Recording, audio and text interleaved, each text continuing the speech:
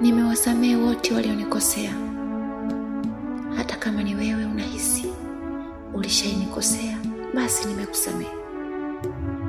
Wala ukiniona usiogope, kwa sababu sina vinyongo moyoni, maana vinyongo havina faida. Maisha yangu namtumaini Mungu pekee, wala sina muda wa kulipa kisasi. Hivyo ukikutana na mimi, kuwa huru, maana yote